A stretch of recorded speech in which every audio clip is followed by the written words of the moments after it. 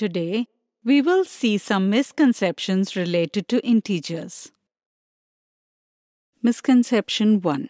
One day, the teacher wrote a few numbers on the blackboard and the students were asked to list down the integers. Sheetal, Nitin, and Nishant gave the following answers. Who is correct in your opinion? Many times, only the negative numbers are considered as integers. With this understanding, Sheetal answered minus 6 and minus 7. This is wrong. Hence, option 1 is the wrong answer. The correct understanding is that collection of all negative numbers, all positive numbers, and 0 are called integers. The positive numbers are usually expressed without a plus sign. With this correct understanding, Nitin has given the right answer, that is, option 2 is the correct answer. Many times, 0 is not considered an integer. Nishant has ignored this here. Yes, it is true that no sign is associated with it.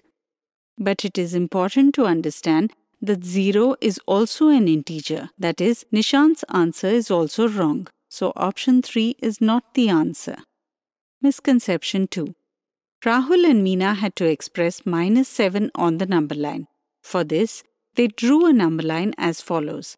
Can you tell me who correctly expressed minus 7 on the number line? Many times, children know that the positive integers on the number line are expressed to the right of 0 and negative integers to the left, but mistakes are made while finding the position of the number. For example, to express minus 7, Rahul assumed 0 to be the first position, then the point to the left of that, the second position, and so on till the seventh position. And thus he is expressed minus 7 in the wrong place. That is, Rahul is wrong. To express minus 7, it is correct to leave the point for 0 and count from the point after it. That is, Meena has given the correct answer, which is option 2. Misconception 3. There are some black buttons here. If the value of one black button is minus 1, then tell me which group has the largest value. Here, we do not have to compare objects, we have to find the values of both A and B groups and compare them. At times, just by counting the number of objects in each group, we assume group A has a larger value and choose option 1, which is wrong. Since group A has 8 black buttons and each has a value of minus 1, the value of group A is minus 8.